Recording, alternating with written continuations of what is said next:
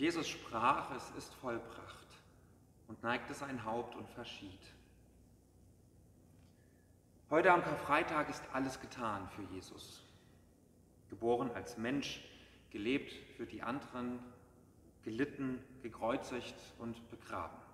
So ist Gott bei uns, so ist Gott für uns. An sein Leiden denken wir, aus seiner Liebe leben wir, in seine Zukunft gehen wir.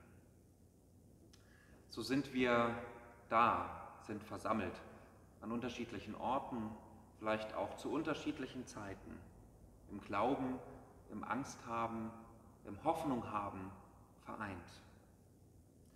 Wir feiern in Gottes Namen, im Namen des Vaters und des Sohnes und des Heiligen Geistes. Amen. Wir hören Berichte zur Kreuzigung, wie sie Matthäus, Lukas und Markus aufgeschrieben haben. Wir gehen den Weg bis ins kleinste Detail mit, bis zum Ende.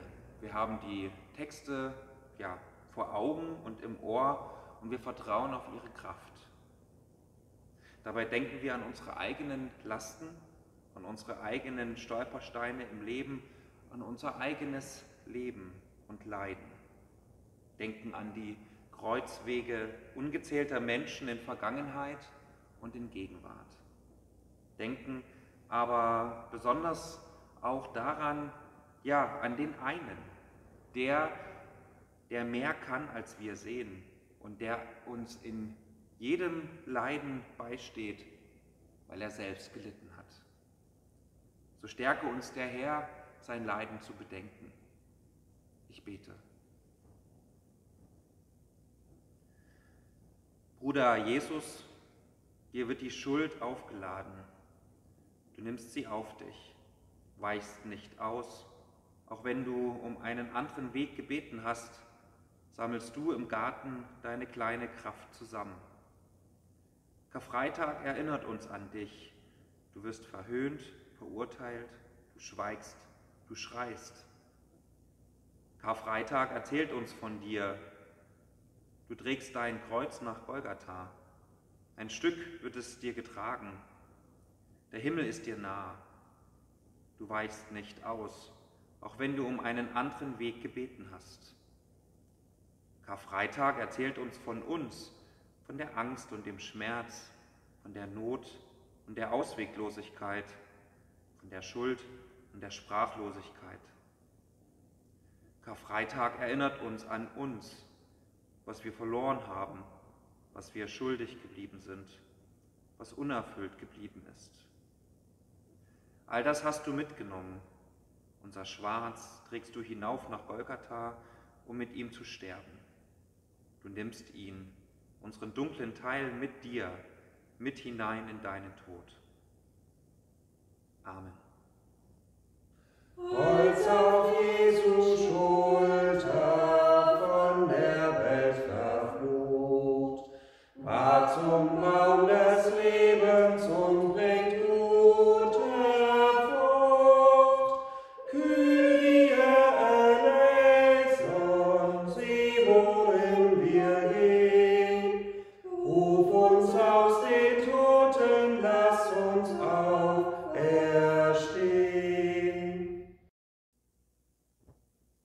Jesus vor dem Hohen Rat. Und sie führten Jesus zu dem Hohenpriester, und es versammelten sich alle Hohenpriester und Ältesten und Schriftgelehrten. Aber die Hohenpriester und der ganze Hohe Rat suchten Zeugnis gegen Jesus, dass sie ihn zu Tode brächten, und fanden nichts. Denn viele gaben falsches Zeugnis ab gegen ihn, aber ihr Zeugnis stimmte nicht überein. Und der Hohepriester stand auf, trat in die Mitte und fragte Jesus und sprach, Antwortest du nichts auf das, was diese gegen dich bezeugen? Er aber schwieg still und antwortete nichts. Da fragte ihn der Hohepriester abermals und sprach zu ihm, Bist du der Christus, der Sohn des Hochgelobten? Jesus aber sprach, Ich bin's, und ihr werdet sehen den Menschensohn sitzen zur Rechten der Kraft und kommen mit den Wolken des Himmels. Da zerriss der Hohepriester seine Kleider und sprach, was bedürfen wir weiterer Zeugen? Ihr habt die Gotteslästerung gehört. Was ist euer Urteil? Sie aber verurteilten ihn alle, dass er des Todes schuldig sei. Jesu Verurteilung durch Pilatus. Und die ganze Versammlung stand auf, und sie führten ihn vor Pilatus und fingen an, ihn zu verklagen und sprachen. Wir haben gefunden, dass dieser unser Volk aufhetzt und verbietet, dem Kaiser Steuern zu geben und spricht, er sei Christus, ein König. Pilatus aber fragte ihn und sprach, Bist du der Juden König? Er antwortete ihm und sprach, Du sagst es. Pilatus sprach zu den Hohenpriestern und zum Volk, Ich finde keine Schuld an diesem Menschen. Sie aber wurden noch ungestümer und sprachen, Er wiegelt das Volk auf, damit, dass er lehrt hier und dort in ganz Judäa, angefangen von Galiläa bis hierher. Und Pilatus sprach zu ihnen, Ihr habt diesen Menschen zu mir gebracht als einen, der das Volk aufwiegelt, und siehe, ich habe ihn vor euch verhört und habe an diesem Menschen keine Schuld gefunden, derentwegen ihr ihn anklagt. Darum will ich ihn schlagen lassen und losgeben. Sie riefen aber, Kreuzige, kreuzige ihn. Er aber sagte, Was hat er denn Böses getan? Sie schrien aber noch mehr, Lass ihn kreuzigen. Als aber Pilatus sah, dass er nichts ausrichtete, sondern das Getümmel immer größer wurde, nahm er Wasser und wusch sich die Hände vor dem Volk und sprach, Ich bin unschuldig an seinem Blut, seht ihr zu. Da antwortete das ganze Volk und sprach, Sein Blut komme über uns und unsere Kinder. Jesus ließ er geißeln und überantwortete ihn, dass er gekreuzigt werde. Herzliebster Jesu, was hast du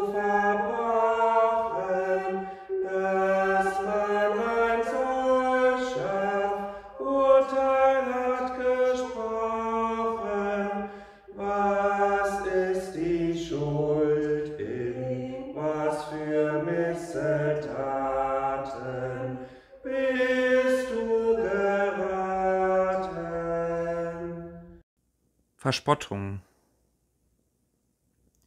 Da nahmen die Soldaten des Statthalters Jesus mit sich in das Prätorium und sammelten die ganze Abteilung um ihn und zogen ihn aus und legten ihm einen Purpurmantel an und flochten eine Dornenkrone und setzten sie ihm aufs Haupt und gaben ihm ein Rohr in seine rechte Hand und beugten die Knie vor ihm und verspotteten ihn und sprachen, Gegrüßet seist du, der Juden König, und spien ihn an und nahmen das Rohr und schlugen damit sein Haupt.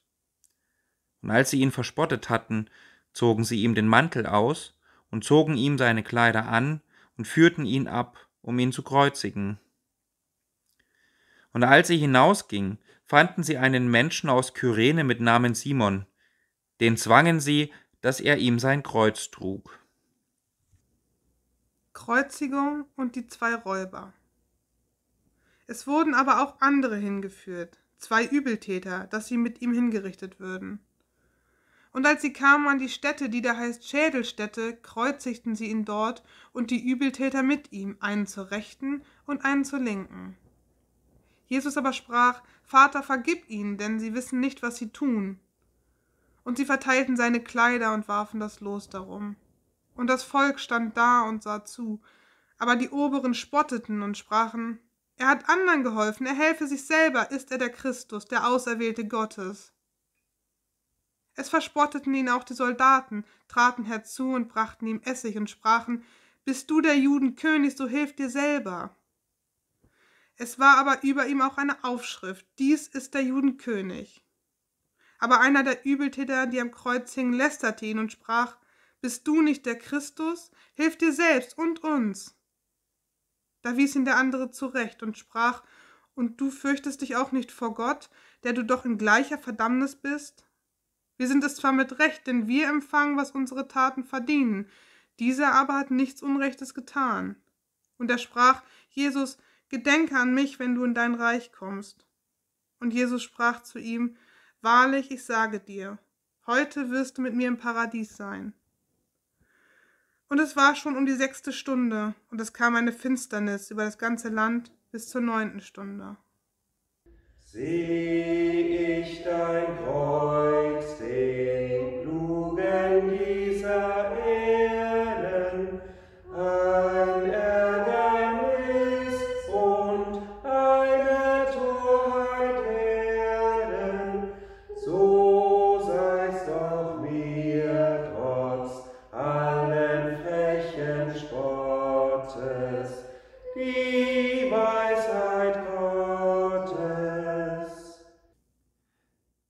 Jesu Tod und Grablegung.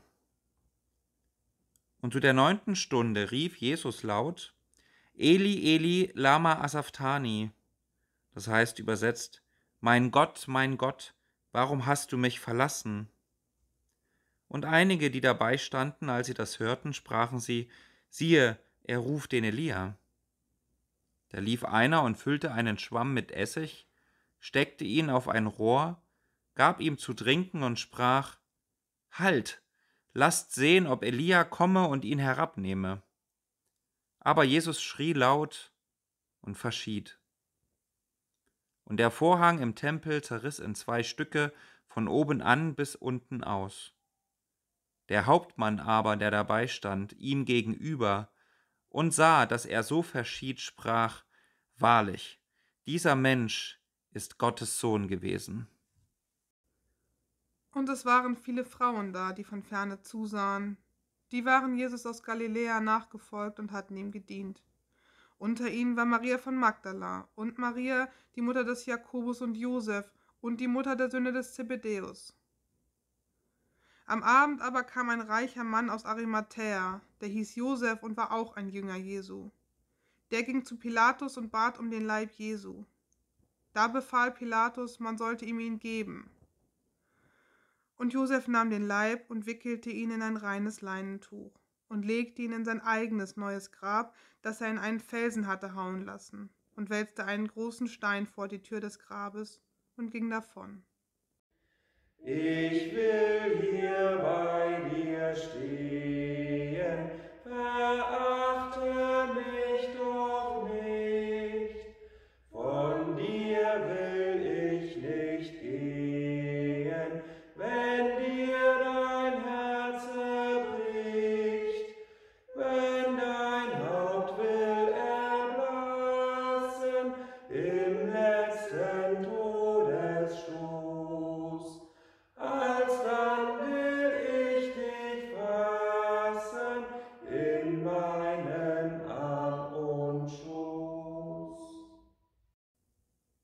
So sehr hat Gott die Welt geliebt, dass er seinen eingeborenen Sohn gab, damit alle, die an ihn glauben, nicht verloren werden, sondern das ewige Leben haben.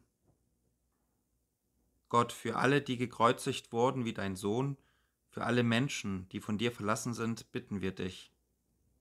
Für alle, die ihr Schicksal nicht ertragen, für die Leidenden und jene, die weder Sinn noch Ausweg sehen. Für alle, die widersetzlich sind oder abgestumpft oder gelähmt.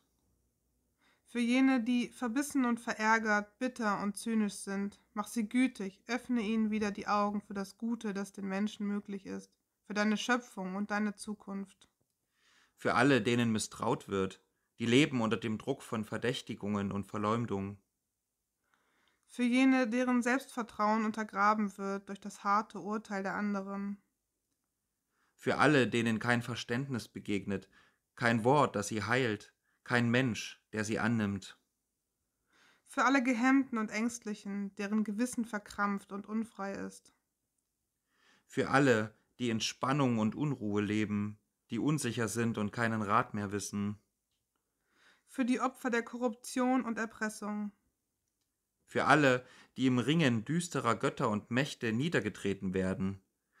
Dass sie in ihrer Wehrlosigkeit Jesus, deinem Sohn, gleichen mögen, der in den Händen der Menschen wehrlos gewesen ist.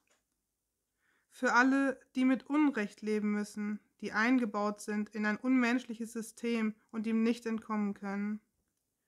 Für die Soldaten an der Front, die gegen ihren Willen und ihr Gewissen gezwungen sind, zu kämpfen und zu töten. Für alle, die Krieg wollen und Zwietracht sehen.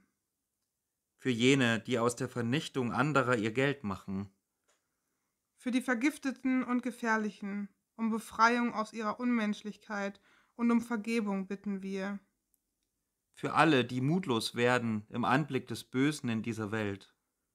Aber auch für die Zuversichtlichen, die Kraft ausstrahlen und Freundschaft geben können, dass sie standhaft bleiben in der Prüfung und unter uns nie fehlen.